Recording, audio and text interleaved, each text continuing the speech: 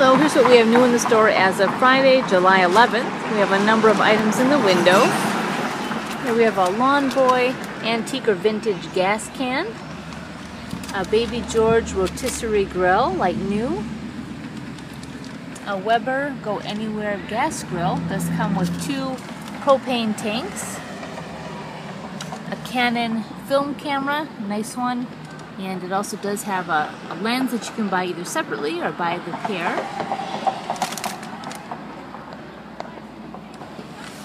There's a garment bag and a well-made golf club bag.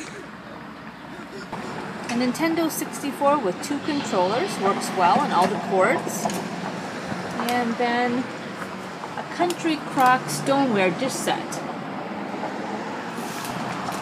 GE microwave, American Tourister suitcase, nice contemporary print, a brand new green straw purse, a nice purse with a fringe here, the Kate Spade purse, a well-made and pretty Tommy Hilfiger purse, authentic and contemporary coach, converter box tested, works well, PlayStation 2 with two controllers, memory card, and all the cords that you need.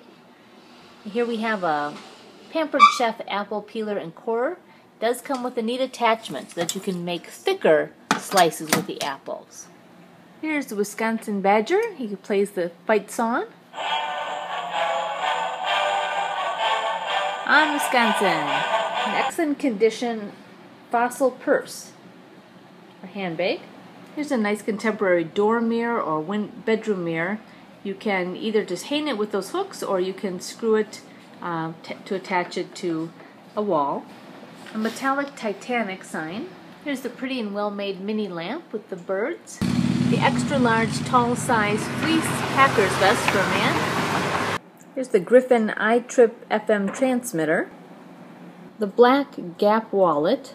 Here's a very pretty painting set. Three paintings uh, that make one display the 1964 edition of Joy of Cooking.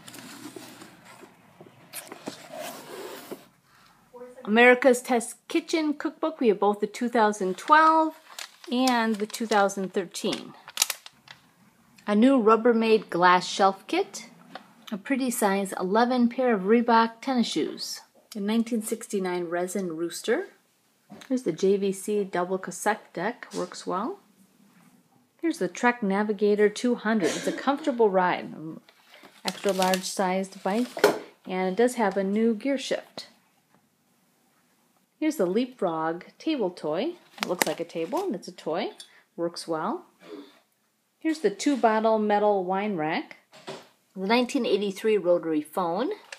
And then up here we have the Orville Redenbacher's hot air popcorn popper. And to the left here, the three nesting Pyrex bowls made in the United States. Here's the neat antique fan. Up here we have the sit-up, perfect sit-up machine or exercise piece. The pretty silver-plated coffee pot. And lastly, the 30-piece flatware set.